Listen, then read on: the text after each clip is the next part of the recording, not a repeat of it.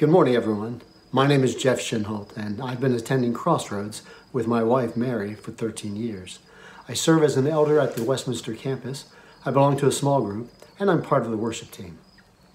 As I was thinking about Sunday's message from John Incontestable, his reference scripture was from 1 Kings 19, where we look into the ministry of the prophet Elijah. He was God's go to guy when he needed to send a message to his people or undertake a task that could only be accomplished by the power of God. Now, you would think that if Elijah was a witness to the movement of God's power and sovereignty, the many miracles performed in his life, that Elijah would be the first to step forward to be used for God's holy purpose. But when his life was being threatened, he did not run toward the enemy, but he retreated with the hope of finding shelter in a cave.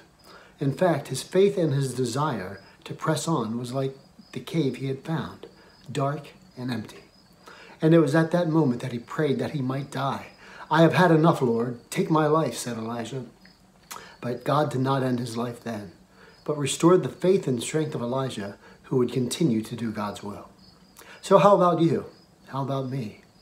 Can we see ourselves like Elijah, who saw firsthand of the countless miracles orchestrated by God? Only to run away when times got hard or even dangerous. Yet we are not alone in this behavior. I know personally that there are many times in my past when I ran away from trouble and when it came my way. But even so, God still uses me in ministry even when I think I'm not good enough or strong enough to do the work of God.